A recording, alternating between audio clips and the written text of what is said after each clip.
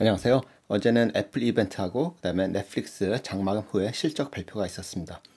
자, 애플 같은 경우는 이제 동부 시간 기준 음, 오후 1시부터 시작을 했고 어, 주가 흐름은 이렇게 어, 하락하는 모습을 보였어요.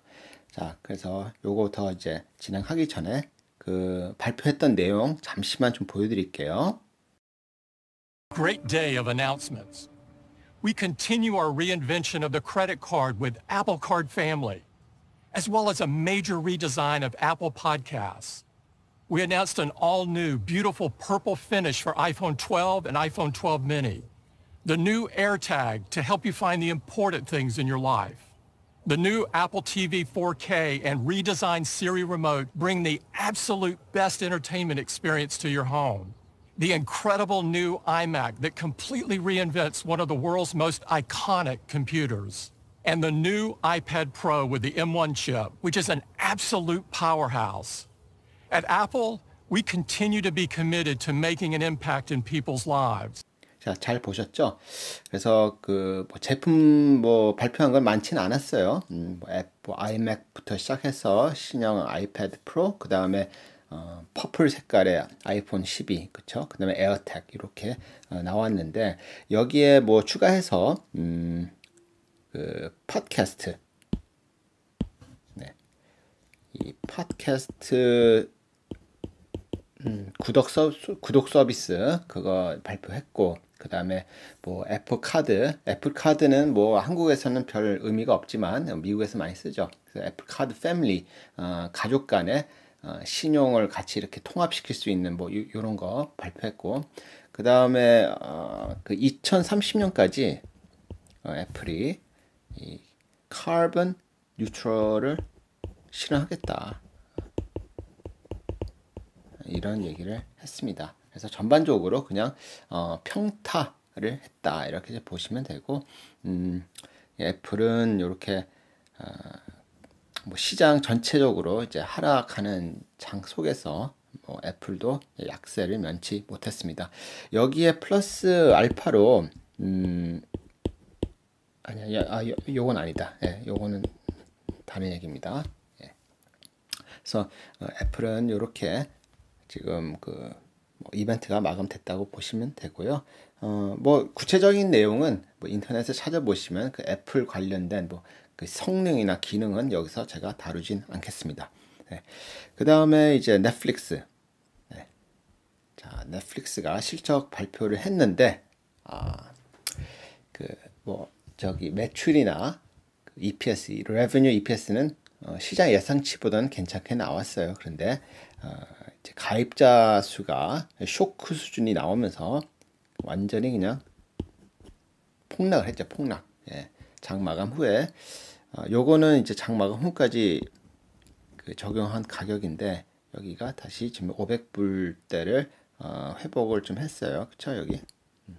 처음에는 485불까지 음, 빠진 걸로 보이는데 예, 거기까지 빠졌었어요. 제가 이제 요거 봤었거든요. 새벽에 네, 이렇게 빠지더라고요. 조금 회복했는데 이제 뭐 내일 정규장에서 어떻게 움직일지는 모르겠어요. 그래서 제가 이 넷플릭스 관련된 어, 그 주주들한테 어, 이렇게 내놓는 그 자료 있죠. 그걸 좀 들여다봤어요. 그래서 여러분들하고 같이 좀 볼게요. 그래서 이렇게 어, 일단은 그 주주들한테 어, fellow shareholders 하면서 중요한 부분만 제가 어, 빨간색으로 좀 칠했어요.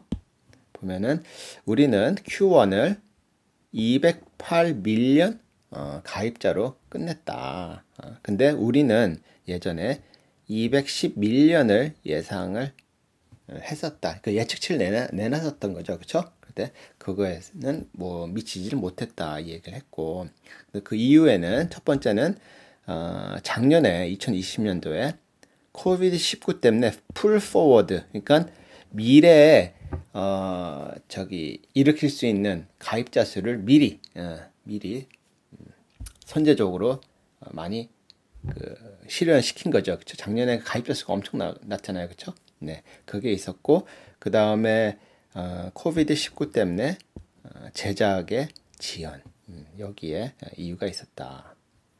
하지만, 중요한 거는, 우리는, 어, 어, 하반기에는 굉장히 어, 강한 음, 뭐 모습을 예상하고 있다. anticipate, anticipate. 어, 실제로 그렇게 될지는 아무도 모릅니다. 그렇죠?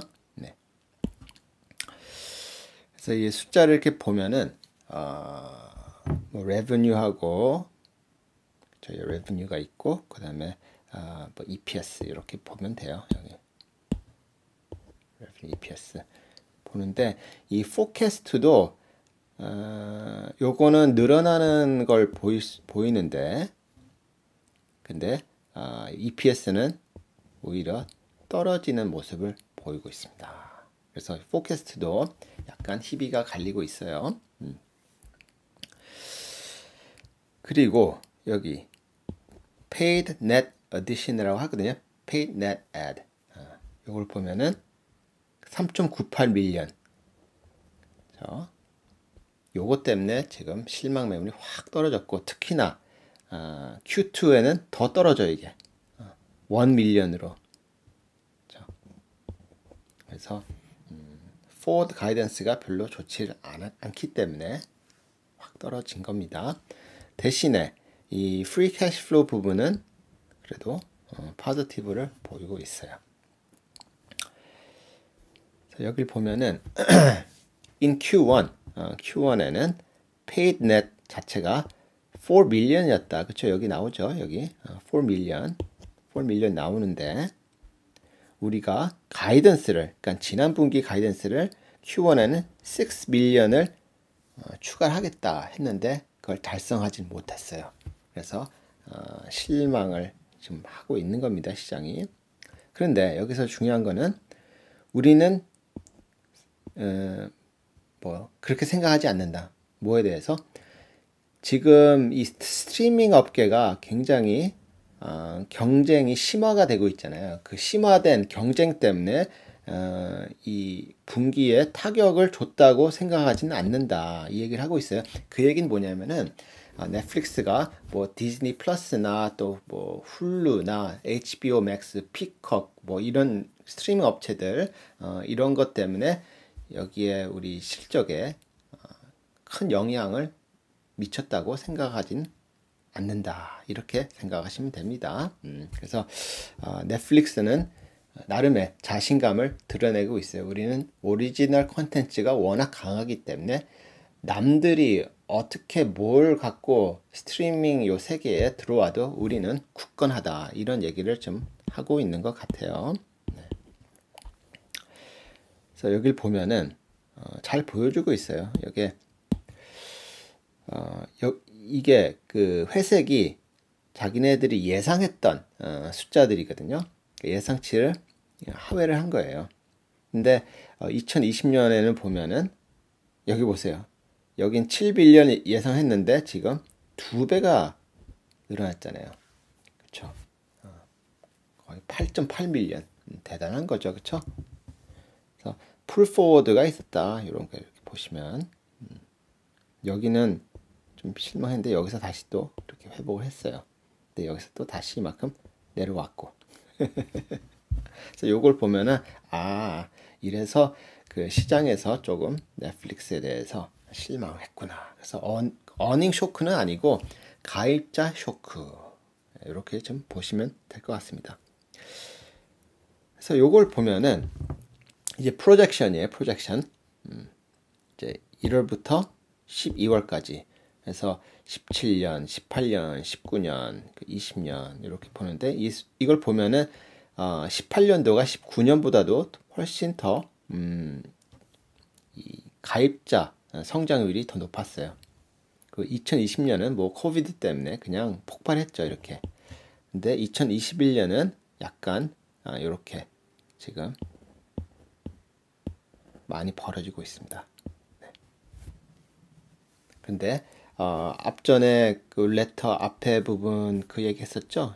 얘네들이 어, 여기 anticipate a strong second half. 자 하반기에는 굉장히 어, 강한 모습을 보일 것 같다 이렇게 예상을 했는데 어, 여기서 이렇게 좀 약한 모습 보이다가 second half에서 어떻게 될지는 참 아무도 모르죠. 근데 넷플릭스는 다시 이렇게 회복하는 모습을 보이겠다. 이렇게 지금 음, 스스로는 예상을 하고 있습니다. 음, 근데 예측치를 지금 미스했잖아요. 여기 미스를 했고 음, 여기는 또 one million이라고 굉장히 낮게 잡았어요. 그 낮게 잡은 거는 제가 봤을 때는 어, Q1에서 이 가입자 쇼크 때문에 굉장히 보수적으로 지금 음, 예측을 해놓은 것 같습니다. 느낌에.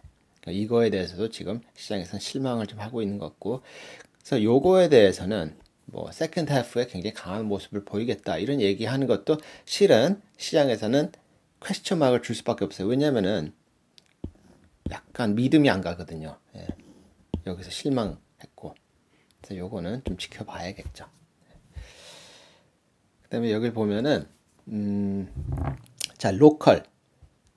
자기네들은 로컬 스토리, 이런 걸 만드는 거에 그뭐 강점을 갖고 있다. 이걸 좀 자랑하는 거예요.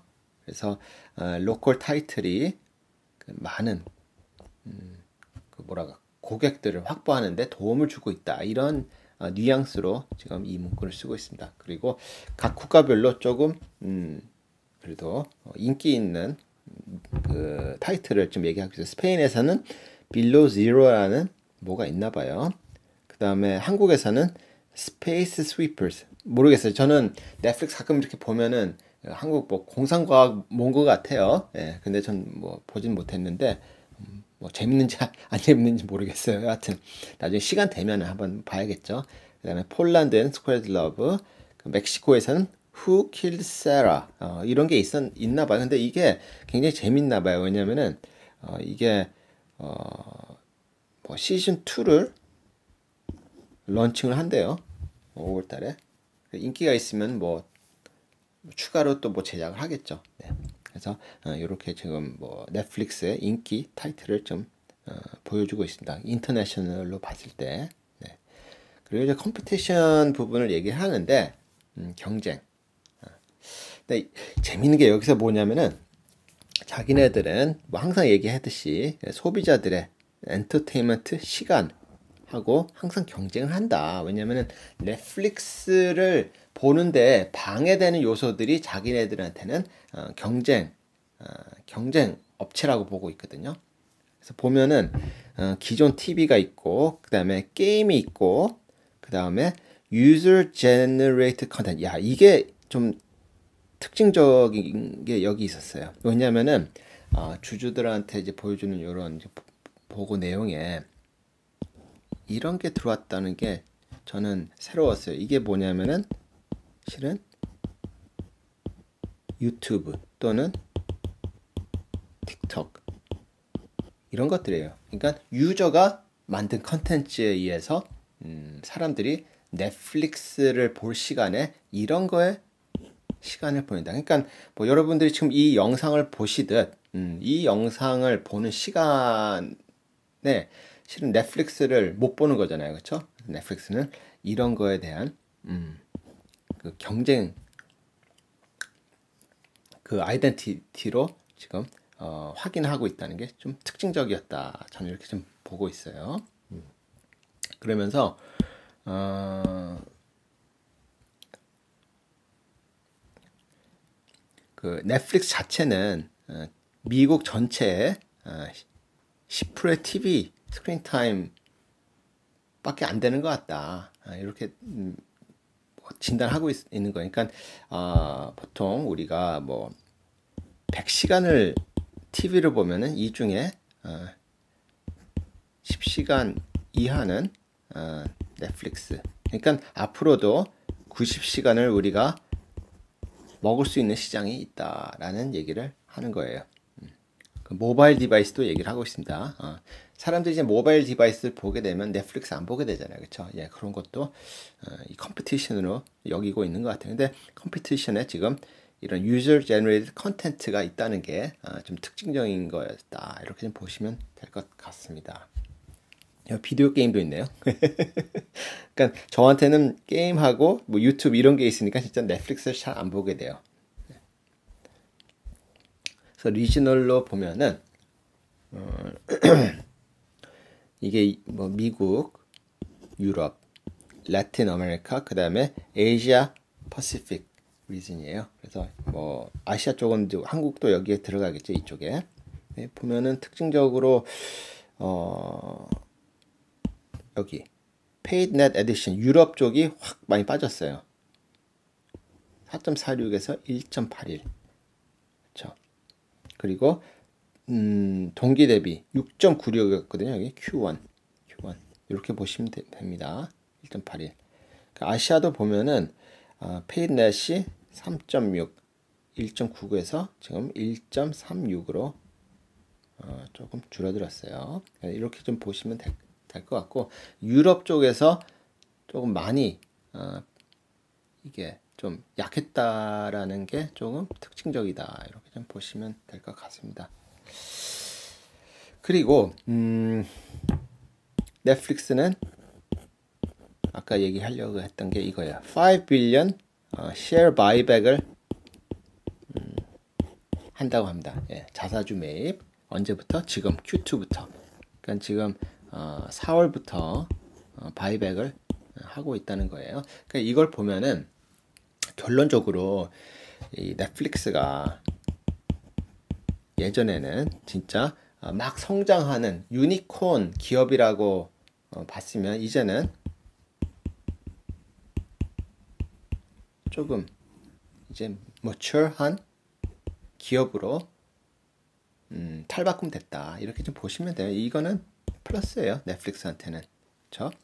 그래서 어, 잉 여 현금 갖고 지금 바이백을 음, 하고 있는 거고 여하튼 뭐 넷플릭스는 그래서 이번에는 뭐 어닝 쇼크는 없었지만은 가입자 쇼크는 있었다. 아, 그래서 앞으로 어, 떻게 얘네들이 또 뭐 성장할지는 좀 지켜봐야겠죠. 그래서 어, 영상은 여기서 마치도록 하겠습니다. 감사합니다.